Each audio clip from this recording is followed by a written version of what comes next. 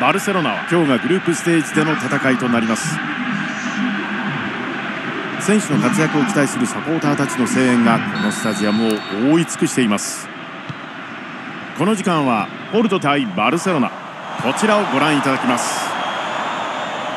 コンディションですが現在こちらは晴れています。好条件でのナイトゲームになります。このゲームの解説はおなじみ元日本代表ミッドフィルダー北。シュートこれはディフェンス陣が焦った形になりました。しかし惜しいシーンです。レドリー。右サイドを上がっていきます。スルーパスを出す。フリーだ。どうだこのシュート。きた先制。ボルト。バルセロナ相手に先制。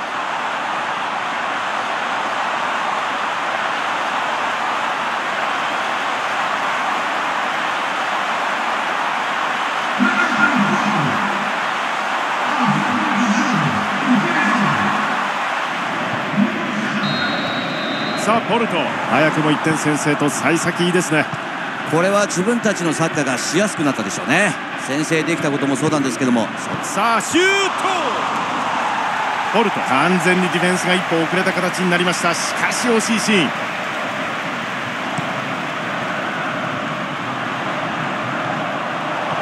ポルトとしては先ほどからサイドの活性化が目立ちますけどもね。サイドバックがかなり高い位置。サービー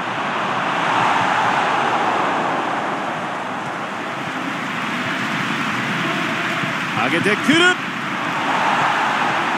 さあシュート。きた同点バルセロナ。追いつきました。いいですね。この展開はファンも燃えますね。今のシュート前のワンタッチ。あれで勝負あったという感じでしたよね。そうですね。シュートからゴールまでしっかりイメージした状態でトラップできていたことがこのゴールにつながったと思いますね、バルセロナここで追いつきました。素晴らしい攻防を見せてくれてますよね、はい、やっぱり得点が入る試合っていうのはスタジアムが非常に盛り上がりますよね。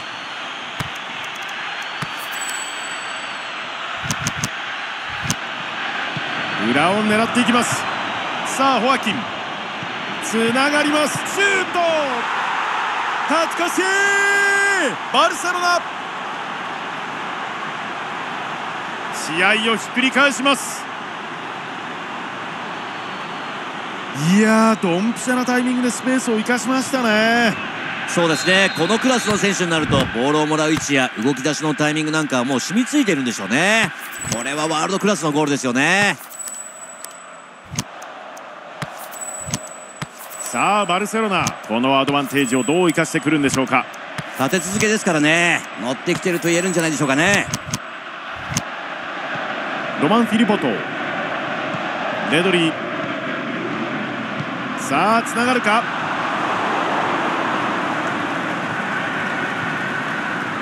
シャビから長いボール縦。へホアキンもう一つ前に行きたい。サイドを使います。スペースへ出す。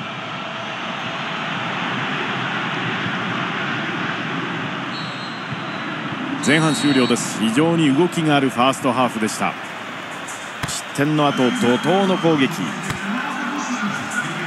さあまずは最初の45分を終えました。前半からすごい試合展開になりましたね、はい、いや試合の流れって恐ろしいですよね、うん、このまま追加点が生まれるのかまた再逆転あるのかどちらにせよ後半も非常に楽しみですね、そうですね。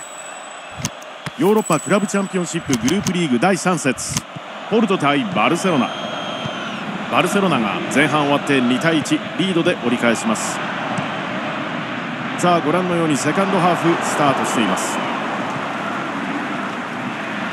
組み立てながら攻め上がっていく。狙いましたね。いいボールですね。シュート！きたバルセロナ！これで2点差これは一瞬のスペースを見逃さずプラスの判断ができた結果生まれたゴールと言えますね。いやもうこのクラスの選手になると動き出すタイミングやボールを受けるイメージがもう体に染みついてるんですよね。これがワールドクラスのゴールですよね。ホアキン今日2点目のゴールです。さあバルセロナ。リードを2点に広げてリスタートバルセロナとしてはまあプラン通りといったところでしょうかね。今日はうまくいってるんじゃないでしょうかね。今のファールには注意があったようです。まあまだ時間がありますからね。慎重にならないとですよね。緩いボール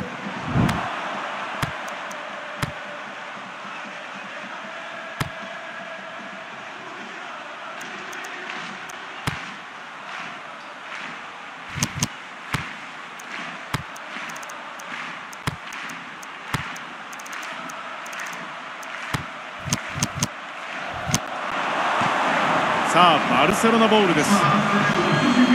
バルセロナはここで選手を変えます。ディフェンダー集中力いいですよ。とボールは裏を狙っていきます。あっとオフサイドですか。飛び出しがちょっと早かったようです。いや本当ディフェンスラインギリギリですよね。レドリボールのこのパス。自分で行く。ルーズボールポルトとしては止められちゃいましたけどもね。抜けてくればもうビッグチャンスだったんですけどもね。スルーパスを出す。いやもうギリギリのクリアって感じですよね。両チーム同じタイミングで動いてきます。ゆるく狙ったボール。おこれいいですよ。まあクリアが精一杯ですよね。抜けてくる。裏へ届くかバルセロナ。一旦クリアで落ち着かせます。スルーパス。シューもういいですね。ト。ゲット。ボールと。後半終了間際。いやー今のシュートにつなげるファーストタッチ絶妙でしたよねまあボールをもらう前に事前にきっちりとイメージを固めてたんでしょうね。そうですなのねで必然的にボールコントロールもシュートもうまくいったっていうところじゃないでしょうかね。先ほど投入されたばかりですが早くも監督の期待に応えました。